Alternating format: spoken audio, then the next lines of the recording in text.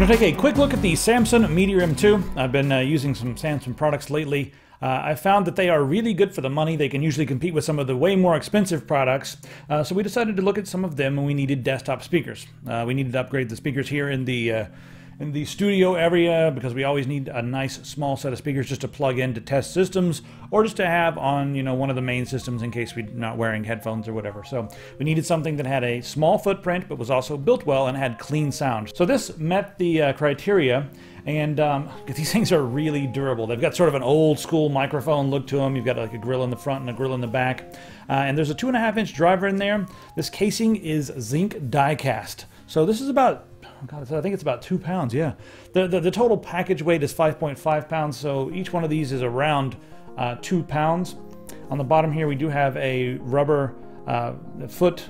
I guess it's one. I was going to say feet, but just one big foot that goes around it to keep it from moving around on your desk.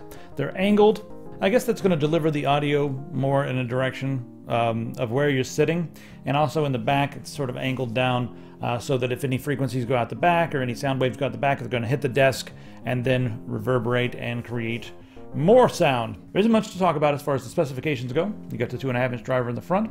In the back, uh, there's also a radiator, uh, a second speaker, um, but this one does not have a coil and does not have a magnet. So it's just there. It's going to improve, they say, the frequency response range. It's hard for me to test, you know, the differences without taking that one out.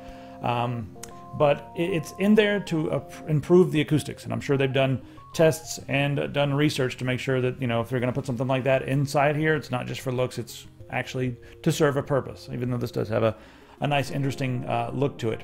Now, you have one passive speaker and uh, one speaker that's driven.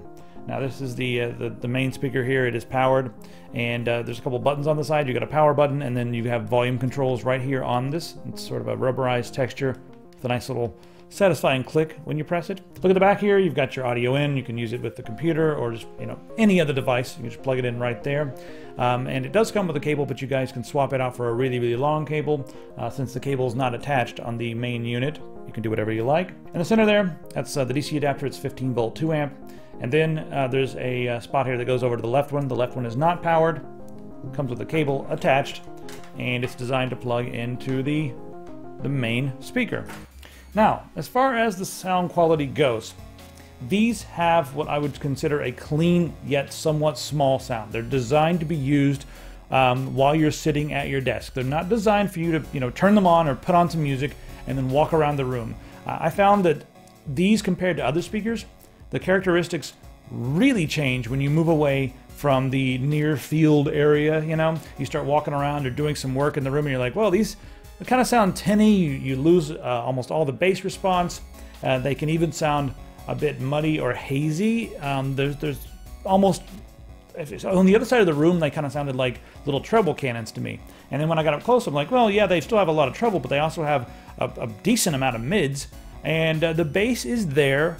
They kind of advertise that you know this is going to do the job of uh, you know a 2.1 system with a little, little mini subwoofer. And while they may compete with some of the ones in this price range, really if you want to listen to a lot of music, you're probably going to want a subwoofer for this. So I would not recommend these for lots and lots of music, especially if your music has bass. If you're listening to uh, talk, YouTube, uh, classical music, maybe even some folk music, bluegrass, that sort of thing. They have a nice, crisp, clean sound, and they do a good job at um, you know extenuating the frequencies that you're going to need for that type of music. So I do recommend them for that. Offices where you know footprint is important, do recommend them for that. If you're on somewhat of a budget but want high quality and also just really nice build quality and decent sound, then this is a good way to go. I can see offices going crazy and getting these for like everybody there because they're they do a really good job when you're just sitting at your desk and they don't take up a lot of space.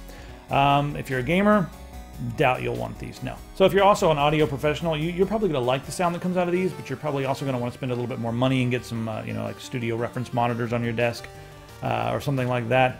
So there's a lot to consider here. Uh, I mean, in this price range, they're probably going to be the best built uh, speakers out there that you can find.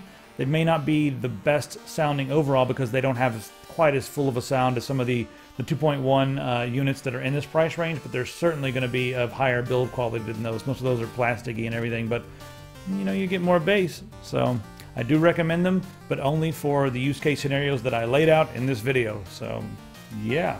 If you guys have any questions, uh, put them in the forum. Also, these are going to be available on Mass Drop, so keep an eye there. Uh, when they're on Mass Drop, you know the price is going to come down because of the, the group buy.